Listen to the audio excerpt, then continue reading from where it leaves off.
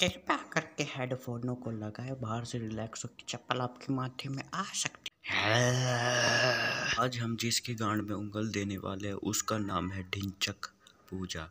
ढिंचक, बेटी चौधरी ने पता भी नाम नहीं, पता नहीं कैसे रखा है, पता नहीं कैसे रखते हैं गांड। में तो दुखी भी नाम सोच के। नाच के पागल।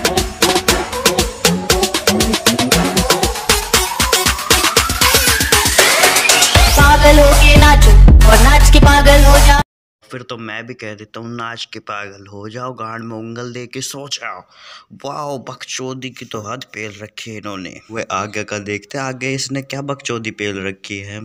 मैं तो गाना सुन के मेरी आंड गांड नाक सबसे पसीना बहने लगा है। पागल हो के नाचो और नाच के पागल हो जाओ।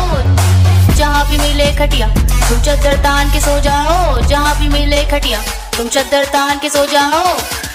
है कि यूट्यूब में सोने के लिए नहीं आते हैं। यहाँ पर वीडियो बनाने या गाना बनाने या बकचोदी पेलने के लिए आते हैं।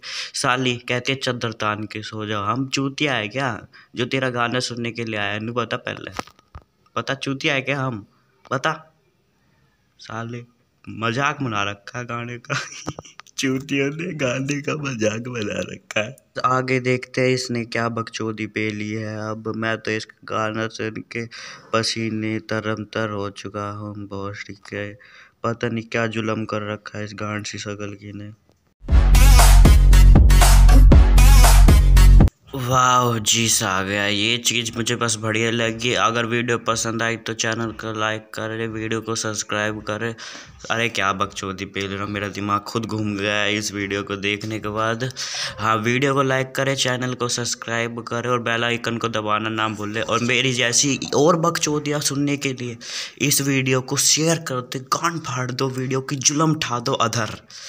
तो आपका भाई, आपसे अलविदा लेता है। राम राम जी। ચાળા પાડી